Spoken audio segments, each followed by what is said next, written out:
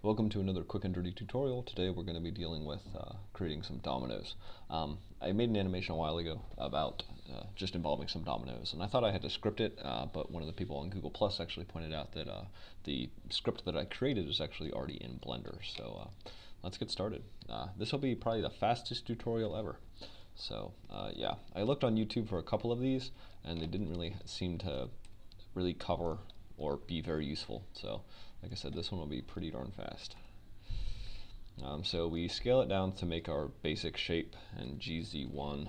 Uh, this might help. Uh, so you scale on the z-axis there, and then move it up one, so we're there, and then uh, we add. Uh, that's all we have to do with that, right? So it's a domino. Uh, you could put things in there and stuff like that, but I'm not going to deal with that right now, uh, or ever. So deal with that, um, and then we add a curve. I prefer a path, go into edit mode, move it sort of where it would be, again, just so it makes a little more sense. And then on our uh, little box there, we add two modifiers. We need a curve modifier and we need an array modifier. The array modifier needs to be above the curve modifier. All right, and then we fix it to the curve, and the curve object is going to be the NURBS path, and you'll see it like that. And we just need to bump this up just a little bit so it looks like uh, a little bit better dominoes, okay? And then we add the curve here. All right, so obviously you saw that little shift, but didn't do a whole lot. But if we go into edit mode on the curve and start extruding these out, you'll see that we are creating our, uh, our dominoes. So this way, this way, we'll come back around here.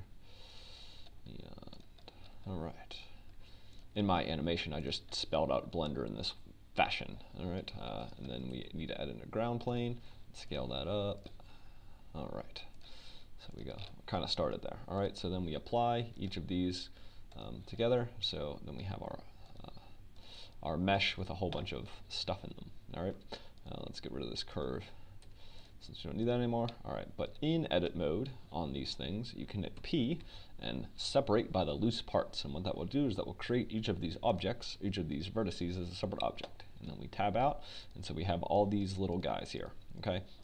Now, another important thing that is, or the most important thing is that we also need to reset the geometry on all of these because if we were to add rigid bodies in here and knock them all over, um, since their origin point is here, that's where the bounding box is going to be calculated from. So all of these have the exact same origin.